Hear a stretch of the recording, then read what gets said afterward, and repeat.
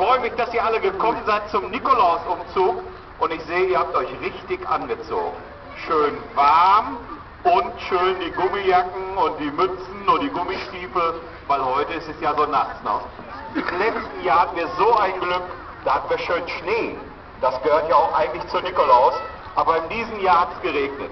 Ich freue mich, dass ihr trotzdem da seid und ich danke auch dem Heimatverein Beat ganz herzlich, dass er wieder einmal diesen schönen Nikolausumzug organisiert hat.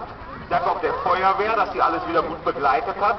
Und die Polizei, beide waren wieder dabei, die haben schön aufgepasst auf euch, finde ich wunderbar. Und ganz, ganz herzlich möchte ich jetzt mal den Nikolaus begrüßen, dass er uns wieder begrüßt hier in Hülz und zu uns kommt. Das finde ich klasse. Herzlich willkommen, lieber Nikolaus. So, Kinder, und äh, der Nikolaus, der wird jetzt eine Ansprache an euch richten, deswegen gebe ich das Mikrofon ganz, ganz schnell rüber. Ja, meine lieben Kinder, schön, dass ihr heute doch gekommen seid. Ich habe heute nur das goldene Buch dabei und das Engelchen. Ihr wart alle brav, habe ich wohl in meinem Buch gesehen. Und meine Ruprechte, die sind schon unterwegs, sie haben so viel zu tun, die sind schon am Stacken, damit ihr auch äh, paar Geschenke kriegt. Dieses Jahr werden die Geschenke vielleicht nicht ganz so groß ausfallen, oder? Wer kann denn wohl von euch ein Gedicht aussagen? Der kriegt garantiert ein größeres Geschenk. Ja, dann komm mal her.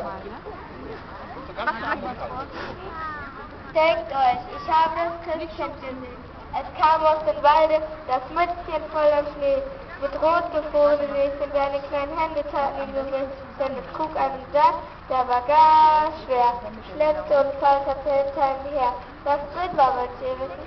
Ihr Nasenwitz, ich Schellenpack. Denkt ihr, er wäre offen, der Sack so gebunden ist oben hin. Sagt er, was etwas Schönes drin. Braucht nur noch Äpfel und Nüsse.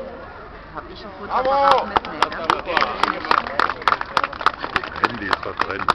Jo, ich bin schon dabei. Antonia. Antonia, und wie alt bist du, Antonia? Sieben?